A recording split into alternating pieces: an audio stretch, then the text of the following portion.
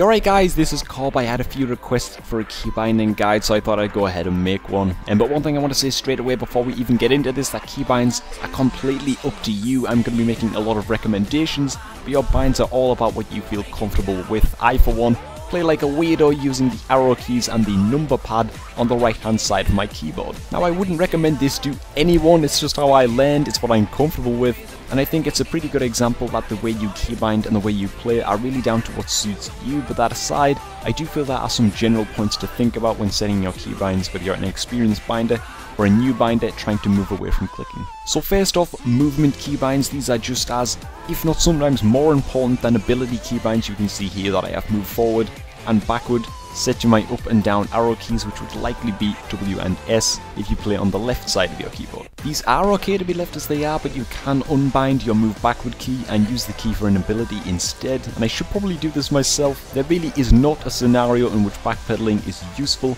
unless you're a PvE tank but it is optional you can leave your keys here as they are. Next up I've unbound my turn left and turn right keys I've instead set my left and right arrows to strafe keys again if this was on the left side of the keyboard, I'd be unbinding A and D from the turn left and right and setting them to the strafe keys. So right here, I'm going to rebind my turn left and turn right keys. Uh, just to get this point across, it's horribly slow to turn like this. If a melee sees you, turning with your keyboard like this, they are very, very likely just going to run around you in a circle. You just won't be able to keep up with them and it's going to be a nightmare. Now contrasting this with turning your character with your mouse, it is just a billion times faster, it's infinitely more responsive, you can spin your character in a 360 revolution 20 times before someone using the turning keybinds can perform one rotation.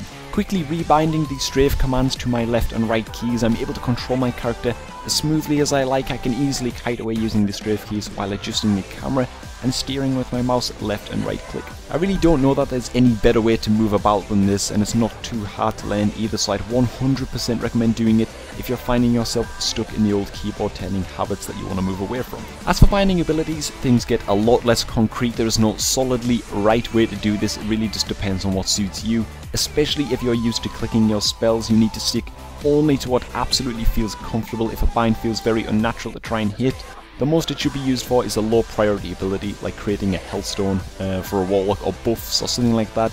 Uh, something that just isn't often used under pressure. For me, there are three general categories of spells to be keybound, and those are high priority, medium priority are situational, and low priority. High priority spells are the ones that you use the most and need to be able to use quickly, and these are things like Incinerate, Conflagrate, Shadow Fury, Chaos Bolt, and Immolate, and these are some of Destruction's most used and valuable abilities.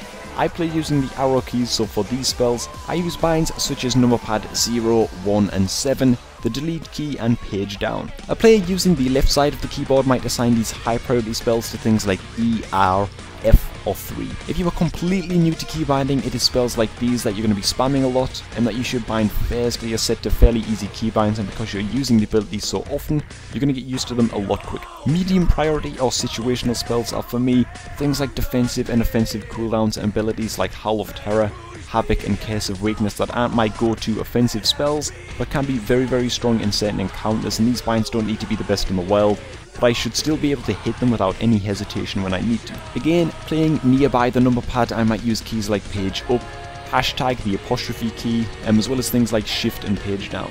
If you're playing on the left side of your keyboard, these could be things like G, T, or 4 and 5. You really do want all of these abilities keybound if you can, and it's really really going to enhance your gameplay to be able to immediately put a Curse of Weakness on a Death Knight's Gargoyle for example. Uh, but if you're only just learning to keybind, don't rush to keybind this kind of spell, just focus on learning to be quick with your high priority binds before gradually working on these. And finally, really really quick low priority spells are just that, and these are your mount, uh, summoning a pet, your buffs, your infernal 10 minute cooldown, um, anything that is barely ever needed during combat or is on a massive cooldown is not a key binding priority. I have my buffs set to my home key which isn't a very fluent thing for me to reach on my keyboard and my pet summon is set to number pad 5 and stuff like that. You don't really have to bind spells like these at all. It will almost never hinder your gameplay if you don't but if you feel like you can then just go ahead and do it. One final thing I want to touch on is bar swapping. Now there are a billion spells uh, in World of Warcraft to keybind all of these, a lot of people like to set shift and control keybinds, and I've set a few shift binds myself.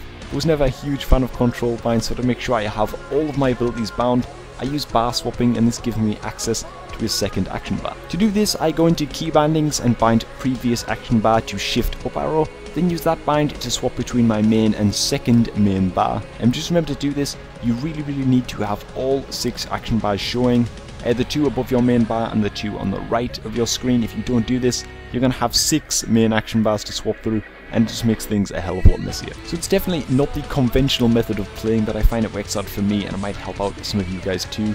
Um, so that's that. Anyhow, that is going to be all for this key binding video. It is really more to help out anyone who's trying to learn to bind their abilities, as it isn't an easy thing to do if you've been clicking for some time. And clicking is a tough habit to break, but breaking it will make you quicker and more free to focus on the action going on around you as well as improving your gameplay overall. So I do hope you enjoyed watching. I hope I could help out anyone learning or struggling with the key bindings. Um, thanks for stopping by everyone and I'll catch you all in the next video.